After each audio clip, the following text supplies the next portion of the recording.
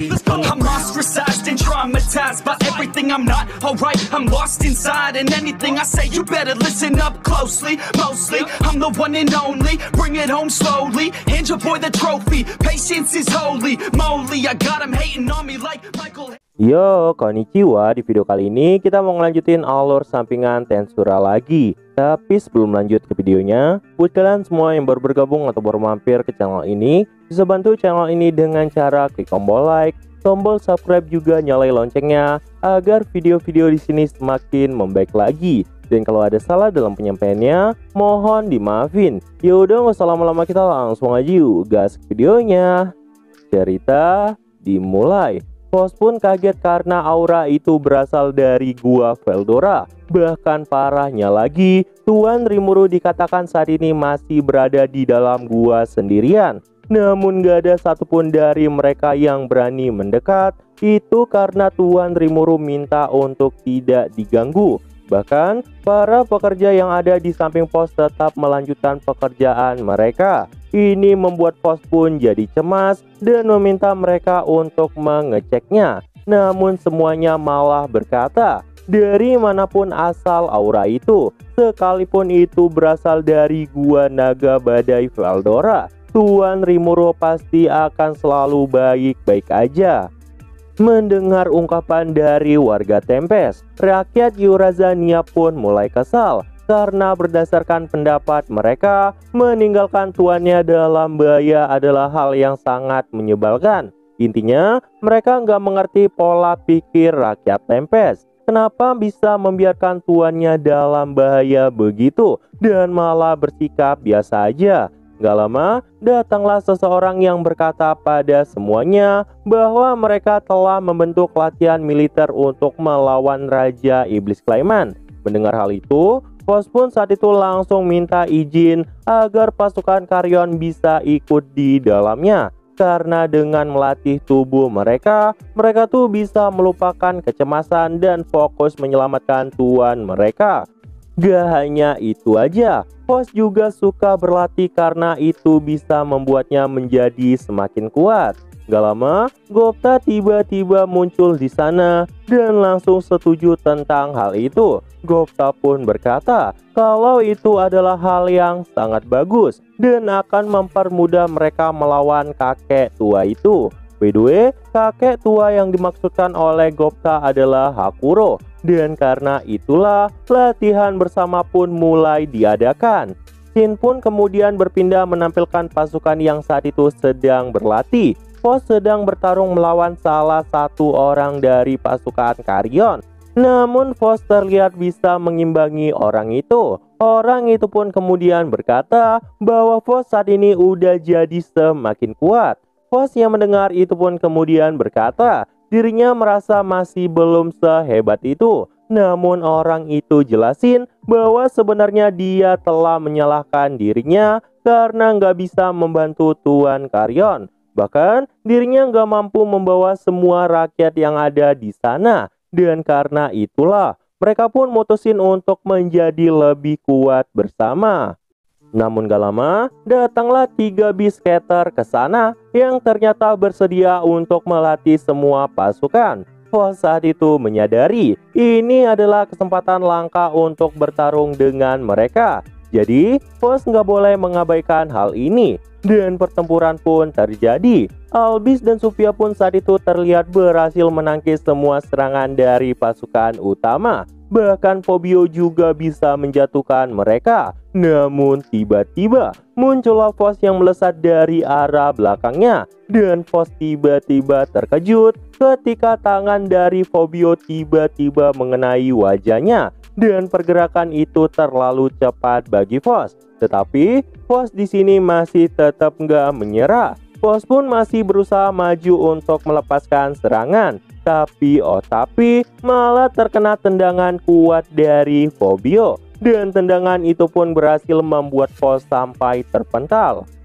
Fos yang terjatuh itu pun kemudian berkata di dalam hati, jika aku lemah begini, aku nggak mungkin bisa membantu Tuan Karyon. Aku ingin menjadi kuat. Namun tiba-tiba muncullah Mamang Diablo tepat di depannya. Diablo pun saat itu berkata, Jangan berpikir seperti itu. Yang terkuat tidak selalu menjadi pemenang sebenarnya. Tetapi usaha yang kau kerahkan gak akan pernah sia-sia karena usaha adalah kunci kepercayaan diri dan selalu menghasilkan nasib baik.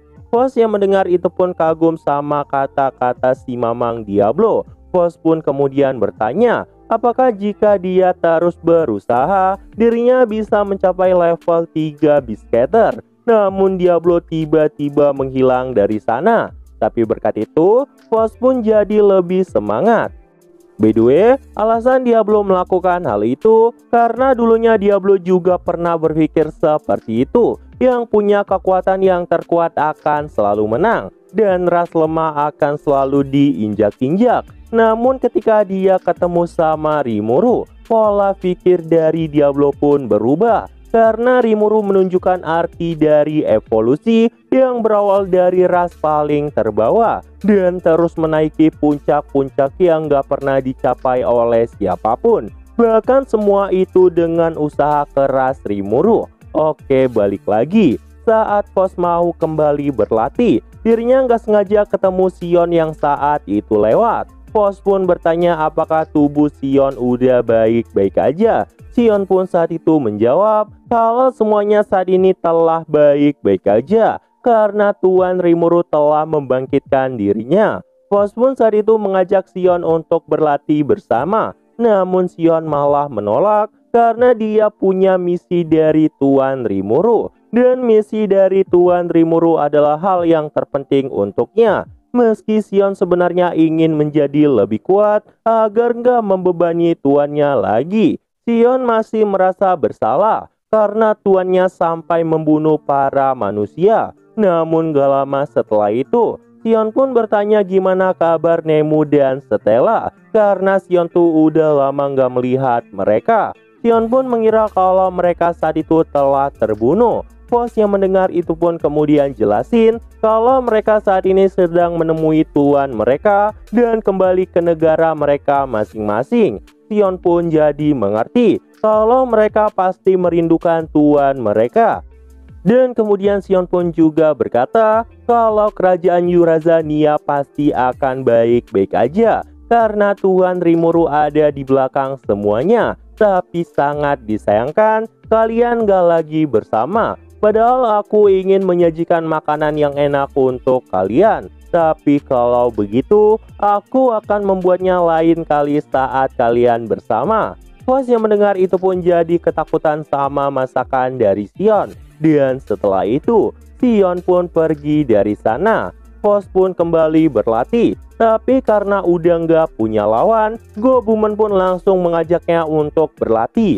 Dan di sini, Fos masih mengingat semua kata-kata dari Diablo yang membuat Fos gak mau menyerah dalam usahanya. Ini membuat Fos bahkan bisa mengimbangi pergerakan dari Gobumon. Bahkan ketika serangan Gobumon mengenai Fos, Fos bisa melepaskan serangan balik ke arah Gobumon. Tapi sayangnya, jangkauan serangan pisau dari pos saat itu masih kurang. Namun sesuatu yang mengejutkan terjadi. Aura Battle Wheel dari pos tiba-tiba meninju wajah dari Gobumon. Gobumon yang terkena serangan itu pun jadi kagum karena Fos bisa melancarkan serangan tipuan ke arahnya. Gobumon pun jadi semangat dan langsung melepaskan serangan ke arah Fos. Fos yang menangkis serangan itu pun sampai terpental. Fos berkata dirinya harus lebih berhati-hati karena perang bisa berakibat fatal. Dan di sini, Gobumon pun muji kerja keras dari Fos karena udah menjadi lebih baik dari sebelumnya. Mereka pun saat itu terus melanjutkan berlatih karena Fos saat ini juga dalam suasana hati yang baik. Fobio yang melihat Fos itu pun jadi lebih semangat. Dia pun minta semuanya untuk lebih semangat. Dan karena itulah, Pos akhirnya pun join menyerang Fobio. Dan setelah latihan selesai, semua orang pun terlihat sangat kelelahan. Tapi di sini Fos senang banget karena kekhawatiran dari semua orang telah memudar. Bahkan setelah latihan, warga Yurazania malah membantu pekerjaan. Fos senang banget ngeliat mereka tuh mau diatur sama orang lain. Bahkan Fos gak nyangka kalau mereka mau melakukan hal itu. Fos saat itu jadi melihat harapan. Mereka mungkin bisa membantu Tuan Karyon. Nah jadi itu aja untuk pembahasan kali ini. Dan tunggu video-video gue selanjutnya dan see you! I said you better watch what you're doing Cause I ain't gonna stop when I'm moving I'm headed to the top, I'ma do it I'm headed to the top, I'ma prove it And baby girl, I like what you do